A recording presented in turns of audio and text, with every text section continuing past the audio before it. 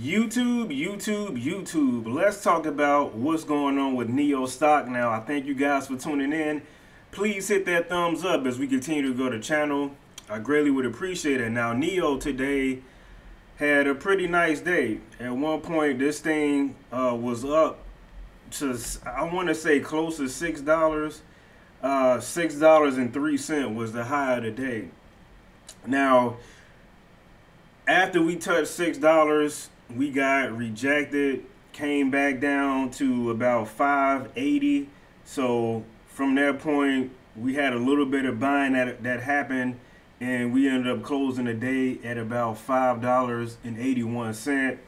And you can see in the post market, this thing is is up a little bit.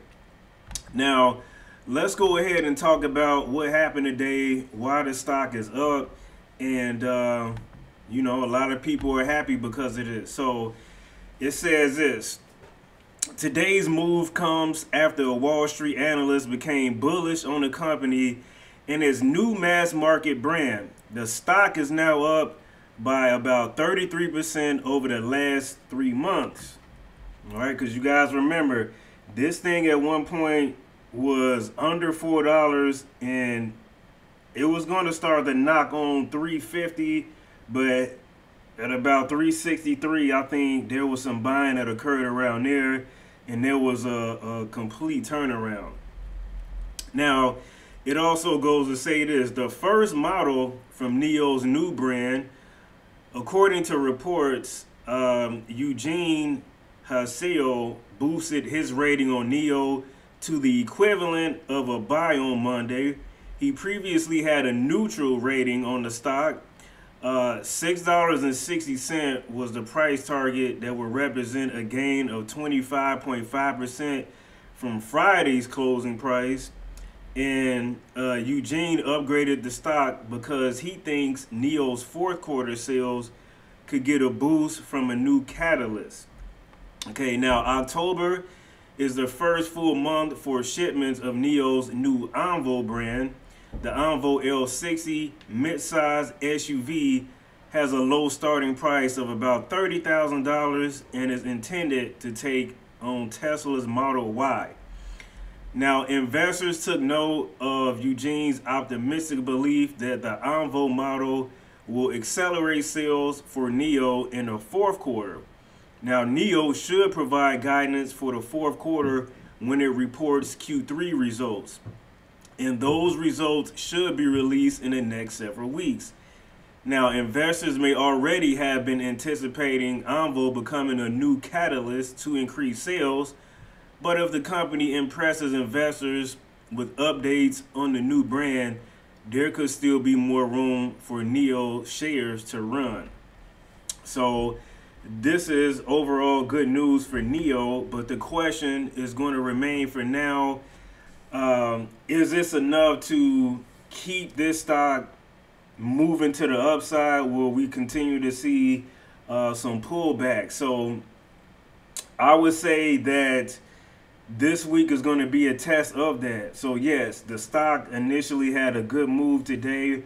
Now tomorrow, I would say Wednesday and Thursday is really going to be the test to see if this particular spike up was a fluke was it an overreaction due to uh, an analyst stating how they particularly felt? Now, for me, I view NIO is undervalued right now, and you know it, it really doesn't matter what I think, right? The stock is going to do what it does. Short sellers are going to do what they do. People are going to continue to make money no matter which direction this stock goes. But ultimately, you guys know that I'm long term. And in reply to the last video that I put out, that wasn't a, a bearish video about NIO.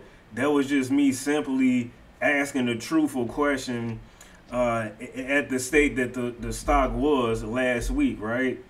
And so, although we went under $5, as I always state, at that particular point, there's going to be some buying because that that makes the stock severely undervalued. Now, yes, we'll probably continue to see some games that are going to be played, um, but I will say this: once this once this situation that's going on with these um, you know stimulus issues once we start to get uh, globally these interest rates reduce down and the closer and closer NIO gets to uh, zero as it pertains to earnings per share and they get to the point where they're very profitable at that point we know what's going to happen with the stock. We know it's going to take off.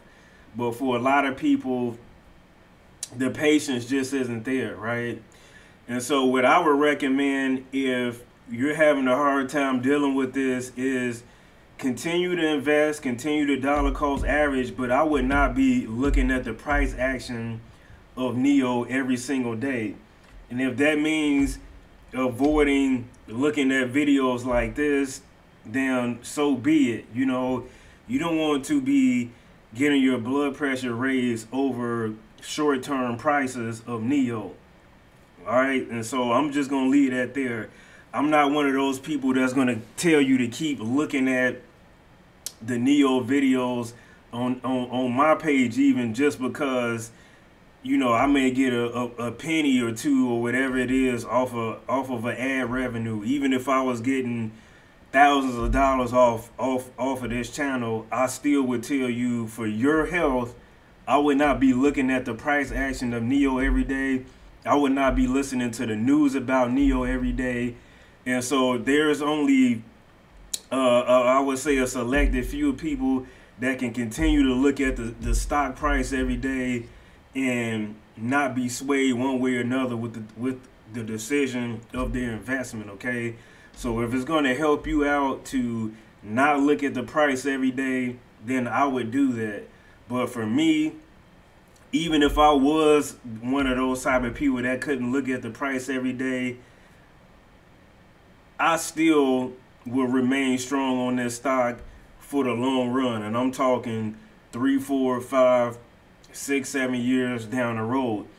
And in fact, when we think about this particular sector, and I've said this before, we're still in a, a new phase of technology.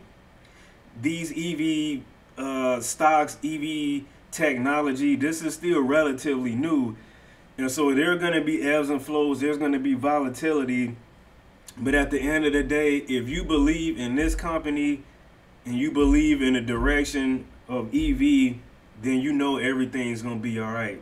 Okay, so I hope I said something to uh, keep you guys in the game because I would hate to see you guys lose out on a lifetime of wealth, getting emotional with your investments and leaving leaving money out on the table. Okay, so I appreciate you guys for being here with me today. Please hit that thumbs up as we continue to grow the channel, and I'm out, guys. Peace.